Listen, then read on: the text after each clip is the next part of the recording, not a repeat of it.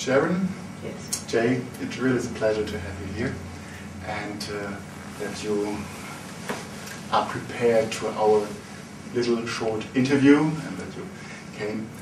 Um, I have uh, questions especially uh, for your um, two DVDs concerning 2012, 2013. Uh, you did them, one of them a couple of years ago in 2006, I, I think. The other one just was released. Uh, maybe you can talk a little bit about uh, the the meaning of, of the of the year and why you did this these two DVDs. Uh, well, uh, we, we were. It's a strange story. We were walking on the beach, on the sidewalk by the beach in Seattle, Washington, having a discussion about what our next film would be, and uh, I had been sent a book by a friend of mine from England on uh, called Beyond 2012, and I was going to go to the beach and read it. It was a nice sunny day, Yes. very rare in Seattle, and uh, I was walking with the book, and Sharron and I were talking about what film we were going to do next, what we wanted to do, and a man on a bicycle was riding down the sidewalk, and he slammed on the brakes suddenly, and he looked at me. He said, "What's that book?" And I didn't know what he was doing, so I looked and I said, "Well, it's a, it's a book about 2012." And he said, "2012. Now there's something I want to know more about." And he got on his bike and he rode away. and so we were standing there with our mouths open, uh, going, uh, "What was that about?" Right? And then because we were discussing what film project we wanted to do next, we thought it was a divine intervention, and so we decided that uh, uh, we would look into making a film about 2012. Mhm. That's how it got started. And the reason that we wanted to do a film about 2012 was that we knew everyone that had done the research. They were all our friends. And uh, we were starting to see a lot of disinformation come out about 2012.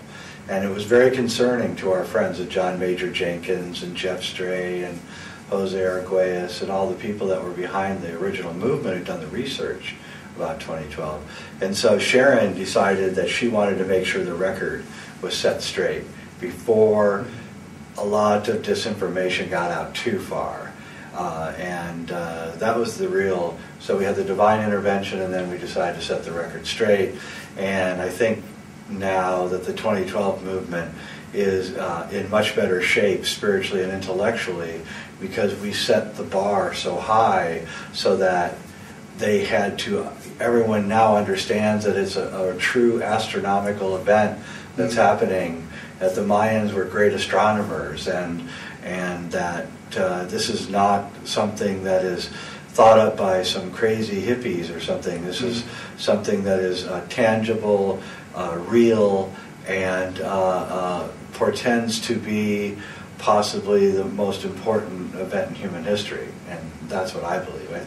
I, I believe that the human race is going through the greatest uh, catastrophic crisis in its history right now. It's just starting right now.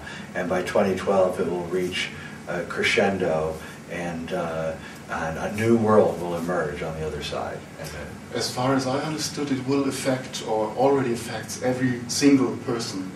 Uh, can, do you have any examples how this might happen that people suddenly imagine or, or can feel, wow, there's something that is connected to the state?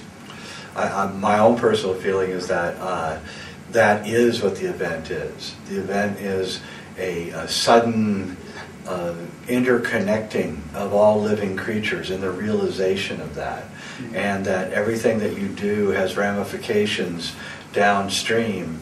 And we have to be very careful about what we do now. And we're starting to realize, especially uh, uh, the people in the United States are realizing that you, you can't just go and invade countries without paying a price. And, and we're beginning to realize that there's a serious consequences for our actions. And I think that this is going to reach a point where we're going to stop acting like children. I think that's what's going on here. We're, we're maturing as a race. The whole human race is becoming adults. Mhm. And children run around the house and break up the furniture and, and they don't care about tomorrow. Adults care about tomorrow. And we are acting, the human race for the last 5,000 years has been acting like we don't care about tomorrow. We're busting up the furniture, we're wrecking the place, and now uh, it's time for us to grow. And I think that's what's going on. It's childhood's end. It's the end of our childhood right now. And we're going through it right now for the next four years, and we're going to come out the other side and we're going to be adults finally. Mhm.